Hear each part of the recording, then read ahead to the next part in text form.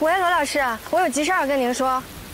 电话里说不清楚，您在哪儿啊？我过去找您，真的特别特别急，要当面说。我大概十分钟以后到家。好的，罗老师，那我现在就过去找您。好。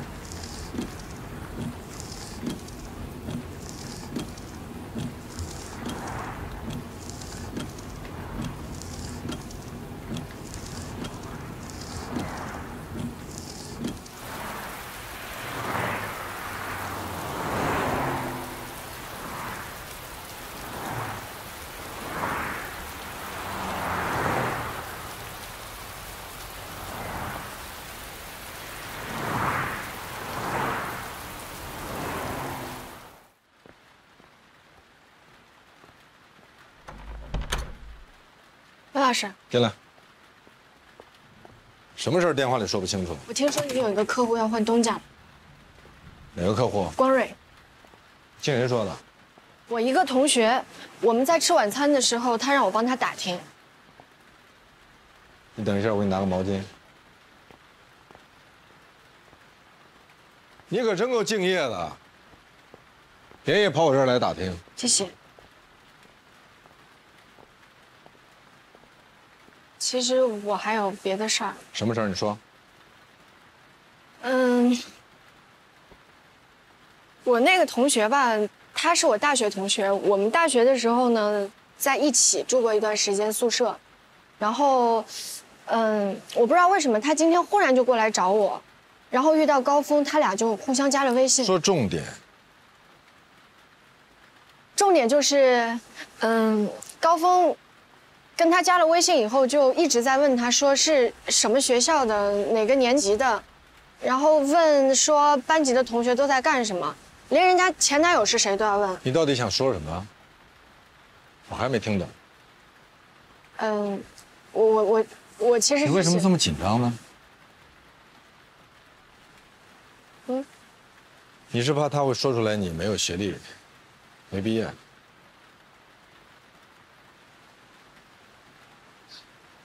这个事儿，我真的一直不太理解。没有学历怎么了？为什么不能大大方方的说出来呢？我就是没学历，但是只要肯努力，可以继续学呀，可以继续考啊，这有什么问题吗？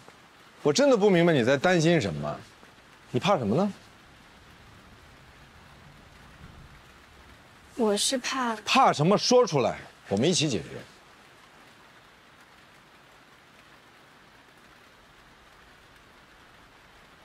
我是怕，如果他们知道我没有学历，那又怎么样呢？怕他们嘲笑你、歧视你，说戴西没有学历还在我们这儿混，这是什么？滥竽充数、鱼目混珠。他居然瞒着我们这么大一个事我不是怕这些，那你怕什么呢？我是怕我以后不能跟你一起工作了。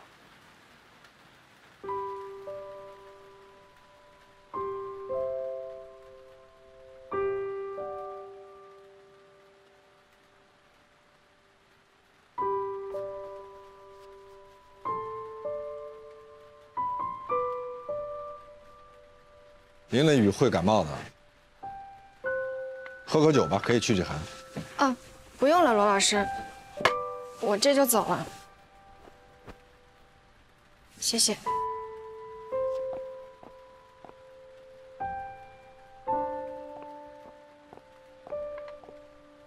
你等一下。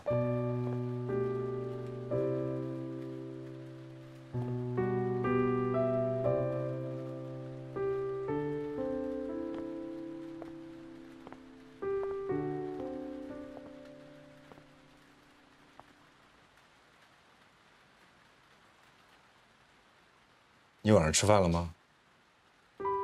嗯，我吃了。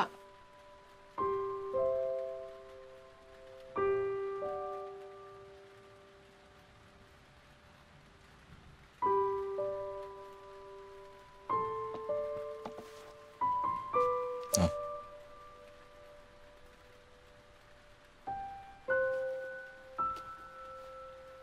谢谢。到家以后给我发个微信。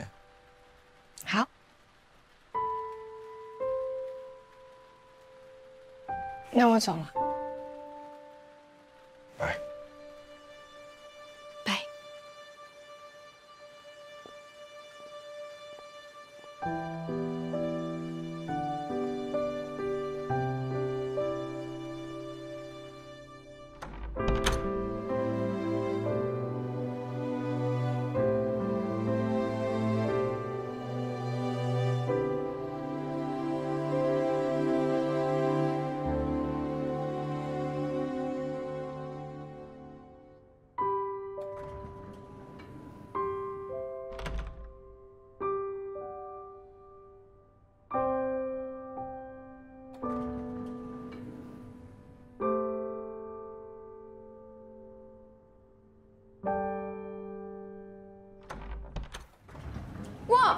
黛西，果然是你，你小雨，孟小雨，你认不出我来了？孟小雨，你，我就是胖了二十多斤，我真的有点没有认出来。呃，你来干嘛？我来找你的呀。找我？嗯，那这是你的名片吧？我当时还在想，不会是同名同姓的吧？你们不上来呀？啊，我们聊点事儿，你先走吧。哦正忙，啊，来找丹西呀？我跟他是大学同学。这胖妞是谁呀？你们认识啊？谁？正忙啊？嗯，之前考研的时候，我俩上过一个补习班，他考上了，我没考上。他之前还追过我呢。追过你？你这什么表情？呃，不是，我的意思是，他追过你，可是我看你们刚刚的样子好像不是很熟啊。我当时很瘦的好不好？嗯不过话说回来，你怎么会有我的名片啊？你好好想想，你最近都把名片推给过谁？王立春？巧吧，我是王立春的律师，不会吧？我记得王立春的律师好像叫……王丽。哦，对，就是王丽，栗树的栗，是不是？嗯，我对他印象特别深刻，我给他打了无数电话，他就是不接。我还心想着说，改天要到你们律所专门去找他一趟。找不到啦，嗯他跟我们老大闹掰了，走啦，所以现在王立春到我手上了。走了？嗯。哎，黛西，嗯，咱班同学你还有联系吗？没有。我也没啥联系。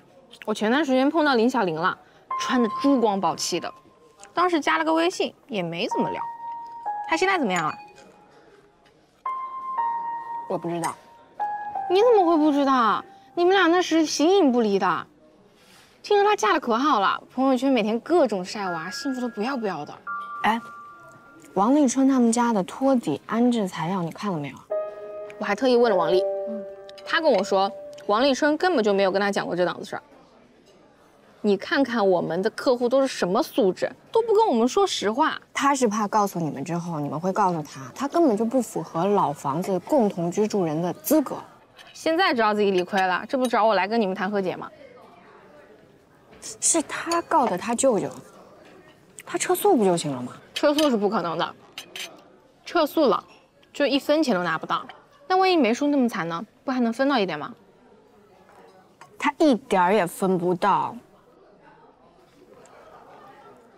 哎，反正你就跟你们客户去说，我们这边想要和解，那和解的成，和解的不成，不影响咱俩关系不就行了吗？行，那我跟我客户好好说说，希望可以劝他舅舅和解。那我就提前谢谢你了。嗯，不客气。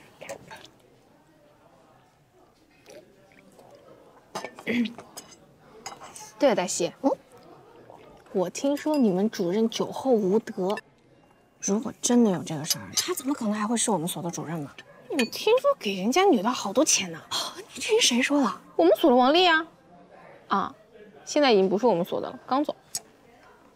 他是怎么知道的？他当然知道了，他现在跟顾杰是合伙人，俩人要一起开个新律所，轮流当主任。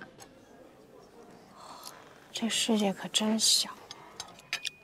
哎，黛西，嗯，顾杰他人怎么样？我跟他接触的不多。